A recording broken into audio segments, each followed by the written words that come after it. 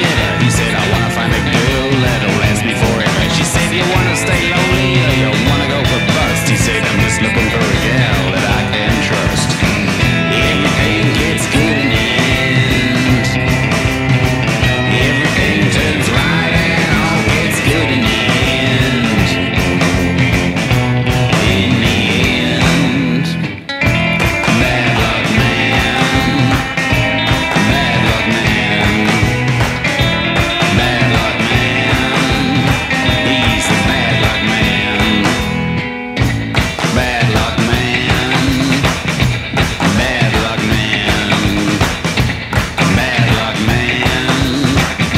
A man.